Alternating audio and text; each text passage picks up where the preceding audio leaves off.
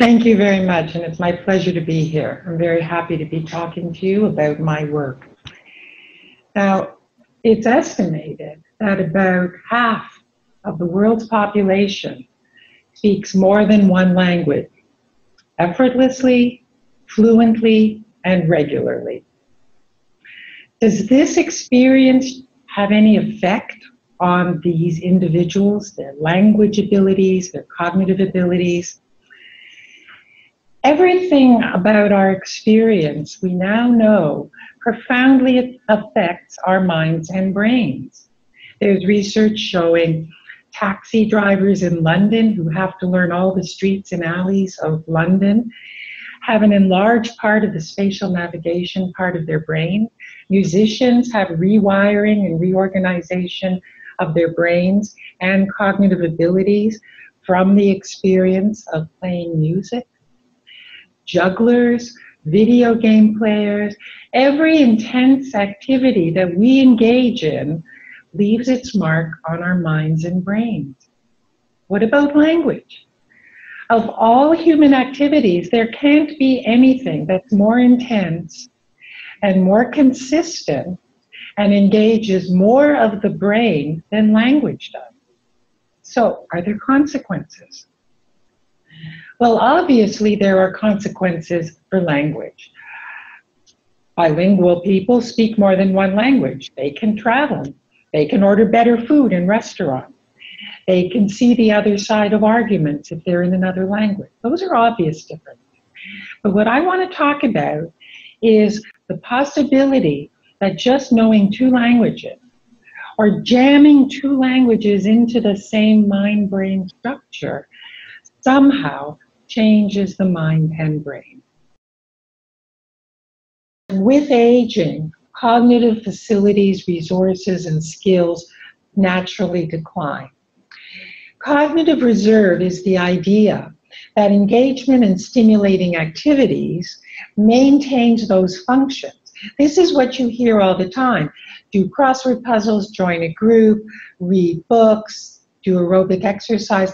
All of those activities are known to feed into cognitive reserve and maintain general cognitive levels.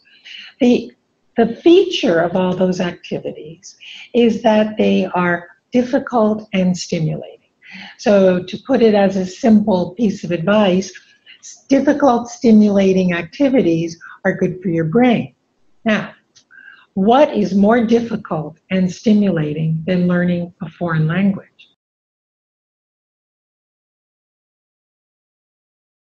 It's a wonderful idea. It's been done. so I'll tell you a couple of examples. We've done it with children. we have run two studies where we take five year old children and then give them a summer camp experience where they have intense exposure to either music classes or art classes or French classes. They're all monolingual at the start. None of them knows anything about music.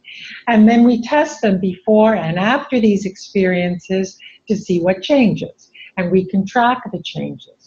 We've done it with college students where we test them before they start a first year Spanish class. These are monolinguals, they have no foreign language experience, and we give them a battery of our tests and then send them off to do uh, Spanish 101. And we come back at the end of the year and test them again. And we compare them to a group of their peers who didn't take Spanish in the first year, they took introductory psychology. So again, when we compare them at the end of the year, we can see what's different and we get all the right effects. And finally, a recent study out of Edinburgh did the same thing with a group of retired seniors in the outer islands of Scotland. Whereas kind of a senior activity, they engaged in either, oh, I don't know, various kinds of history classes or literature classes or language classes. They learned Welsh. And again, they got exactly the same results. So you're right, because the majority of the research suffers from this basic correlational design.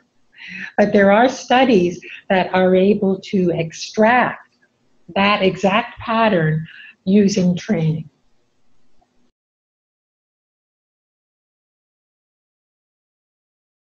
This is really important.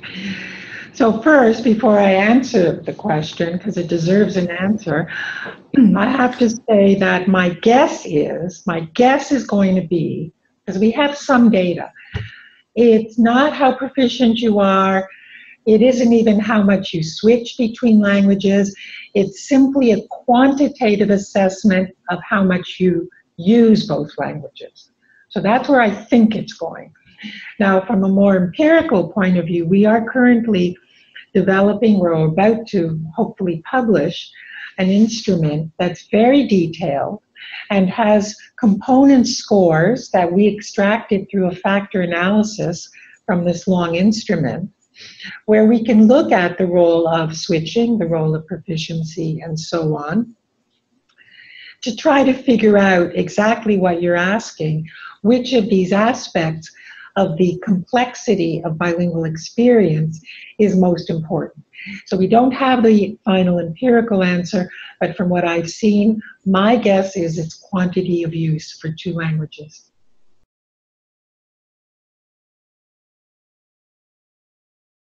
When I'm talking about usage, I mean um, usage towards some balanced ideal. So the more you're using both languages. So what I'm saying I don't think is going to matter ultimately is let's say you have kind of 50-50. I don't think it's going to matter quite as much about your patterns of mixing and switching. I think what's going to matter is that you're using both languages 50-50. I think it's that idea of balance. I think there's also an important point here that you're not raising, but I think follows from your question. And there are large demographic differences in bilingualism.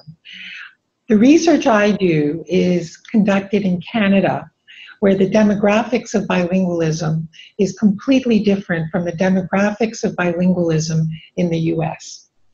And it's different in important ways. And I'll just say that because of the climate, the demographic climate and attitudes uh, in Canada, it's much easier for an individual to achieve that kind of 50 50 real bilingual usage because languages are more supported, they're more tolerated, and they're more valued in Canada than they are in the US, which is a more homogeneous, predominantly English society.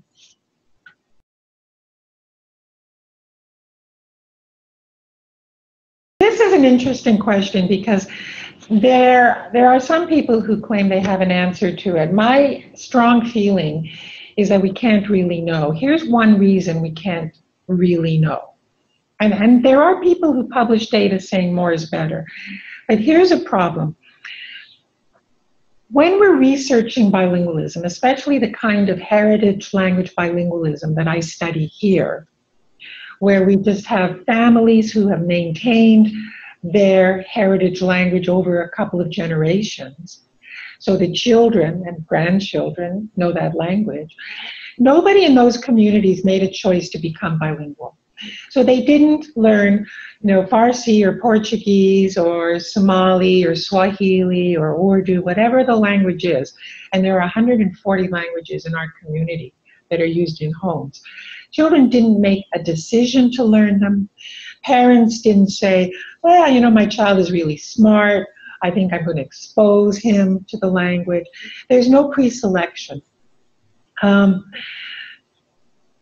and that makes it a powerful test.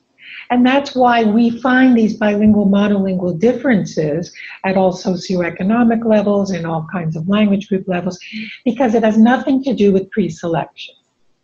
However, when you get to multilingualism, I think it becomes more complicated.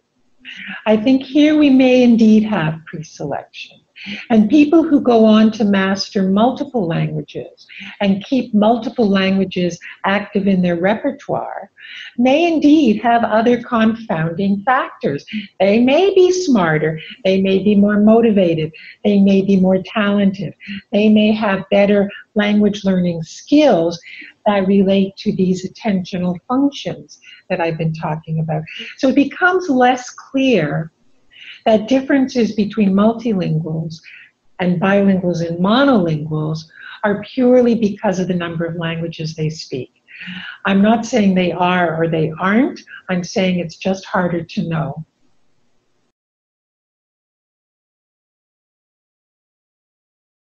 We've actually looked at that and we found that the kinds, music is me, the best example because it's the most similar. And what we found is that the effects of musical training are similar but not identical to the effects of bilingualism. Um, and that individuals with both, we have not seen any additive benefit. We have not found it. Perhaps it exists. Perhaps we haven't used the right kinds of measures to find it. Um, but what we find instead is that there's slightly different outcomes for each. And so each experience serves up its own kind of, uh, of effect. Um, the additive part of it, we haven't found. In fact, we rarely find additive effects. Um, I can give you another example. We know that low SES is associated with poor attention, poor performance on all of these executive function tasks than um, higher SES. So in our studies where we've compared middle class children and what we call working class children because they weren't really in poverty. Uh, basically, they had parents with lower education, so they lived in less stimulating environments. So we compared them, and in each group we had monolinguals and bilinguals. Again, we just found two main effects, no additive effects. So lower SES was associated with poor performance, and monolingualism was associated with poorer performance, but they didn't, they weren't additive. So monolingual low SES kids weren't doubly disadvantaged.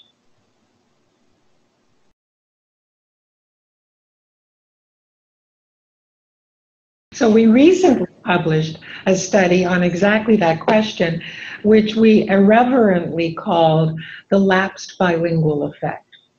So here's what the study was. We took again our sort of 20 year old young adults, our university students, and we had three groups. One is just monolinguals, so we know who they are. Now, the bilingual group this time were kids who had become bilingual primarily because they attended these very popular programs in Canada, French immersion programs. So, in these programs, when you enter kindergarten at five years old, from that point on, everything that happens in school is in French. Everything. So these kids learn a lot of French. They don't all become bilingual, but we selected those kids who stayed in this program through the end of high school and continued to use French up to the present. So they were taking university courses in French and so on. So they really were French English bilinguals who had become bilingual through these programs. So those are our monolinguals and bilinguals. Our lapsed group is this funny kind of thing because French immersion programs are super popular. There's waiting lists to get in, there's lotteries to get in. People buy expensive houses to be in a neighborhood where the school offers these programs. These are really popular. But after uh, sixth grade, just before the transition to middle school, a huge number, huge number, maybe the majority, I would say, of kids move back into mainstream, mainstream English. And a huge number of them never speak another word of French. So here we have your situation. They used to be bilingual and now they're monolingual. And the transition happened about halfway through their lives when they were 10, 11 years old, right? So we found all of these lapsed bilinguals, kids who had been in French uh, immersion in elementary school and not used French since. All three groups get the same battery of attention and executive function tests, okay? So here's the results. The bilinguals do better than the monolinguals, just like we always get. What do you think happens to the lapsed bilinguals? You tell me. I actually have no idea. it's incredibly logical. The results are exactly halfway between the other two groups and not significantly different from either. So they're right in the middle. Now it would be that's only 10 years after they stopped using French. I think it would be interesting to find these people in another 10 years and see if they're still halfway or if they keep kind of monolingualifying uh, as time goes on. But for this period of 10 years at least, there's residual effect. So I would assume that if they then resumed using another language, they would get back their bilingual brain.